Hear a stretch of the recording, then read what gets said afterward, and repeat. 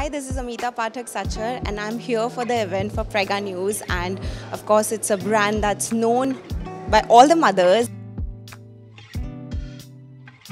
The first time when you become a mother, it's too many emotions. There's a lot of confusion, there's excitement, there's happiness, and it's a different feeling that just goes through your body. Uh, I don't think I can put it into words, but I'm sure all the moms are going to relate to what I'm, I'm trying to say.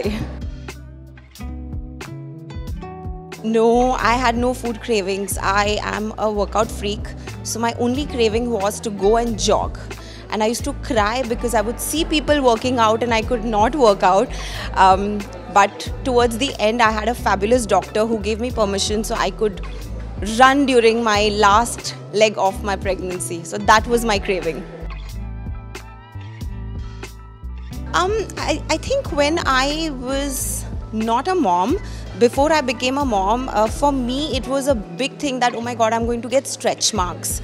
So I went to my doctor during my pregnancy. I asked her, give me every oil, every cream that I can use, you know, so that my body doesn't get any stretch marks. And luckily, for a long, uh, during my pregnancy, it was not there.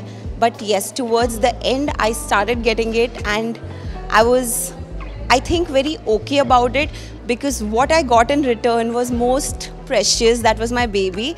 So I think today I, I own up to my stretch marks.